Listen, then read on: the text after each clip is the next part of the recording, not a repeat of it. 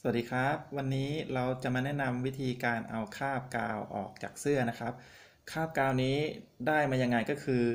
ในกรณีที่ซื้อเสื้อมาใหม่นะครับ มีป้ายราคาติดมาที่เสื้อแล้วลืมแกะออก ลงเครื่องซักไปเลยครับ สมมตินะครับ พอลงเครื่องซักเสร็จแล้ว กระดาษยุ่ยออกเหลือแต่คราบกาวนะครับ เหนียวเหนียวๆนะครับ ตัวนี้ไม่ใช่หมักฝรั่งนะครับนนี่เป็นคราบกาว วิธีก็คือ ใช้ตัวนี้ครับ กาวสองหน้านะครับแบบโฟมนะครับ หรือถ้าเกิดใครมี 3M ก็น่าจะใช้ได้นะครับ กดขึ้นไปแล้วก็ดึงขึ้นมาแบบนี้นะครับ กาวคาบกาวจะติดนะครับ จะติดไอ้ตัวนี้ขึ้นมานะครับ นี่ครับประมาณนี้นะครับ วิธีง่าย ๆครับ อันนี้คาบกาว อันนี้คาบกาวจริง ๆ นะครับ ไม่ได้ไม่ได้เตรียมนี่ครับ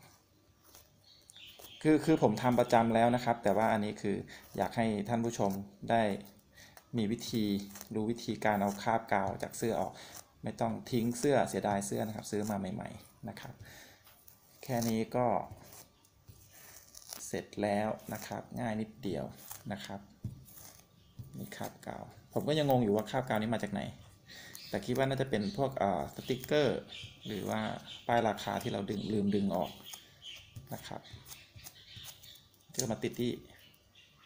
ตัวกาวสองหน้าแบบนี้นะครับ เรียบร้อย ขอบคุณที่ติดตามรับชมครับ สวัสดีครับ